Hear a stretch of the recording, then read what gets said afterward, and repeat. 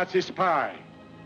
I am one of thousands stationed in every part of the United States to steal the secrets of your national defense. There are spies stationed in all of the Navy yards in Brooklyn, Philadelphia, Newport News. There are Nazi agents in the aeroplane and munition factories at Bristol, Buffalo, Seattle, Boston.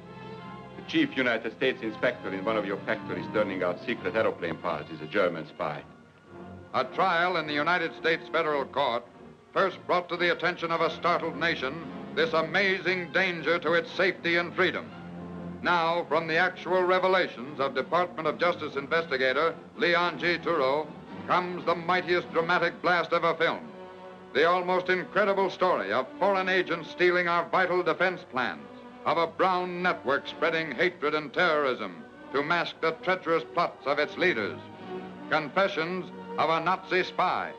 Your plant is turning out a new type supercharger for pursuit ships. How ah. soon can we get the blueprints? Uh, I don't know. I want to quit. I want to wash my hands of all this. Herr Westphal, have you ever heard of an organization known as the Gestapo?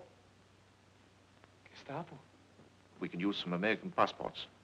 Passports? Yes, we need them for our agents going to South America. I want you to get me the secret code used between military planes and land bases. You'd think from the number of spies they've been sending over here that we're at war with Germany. It looks more as if Germany were at war with us.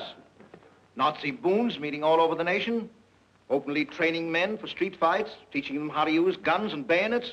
It's a new kind of war, but it's still war.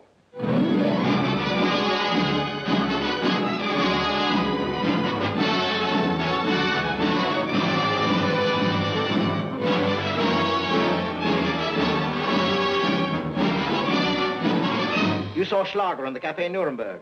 Yes. You spoke to him. Yes. Did he pay you there? No. I want the whole truth, no hedging about. It is no use, Doctor. They have the codes, the letters, everything about you, too. Tell the truth.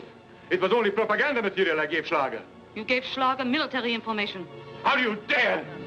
We have instructions for you, Gritzweig. You are going back to Germany. Why? Your actions have become much too dangerous for you to remain here. We are still in America. I didn't mean anything wrong. Please, I don't want to go back to Germany. I don't want to go back to Germany. I don't want to go back to.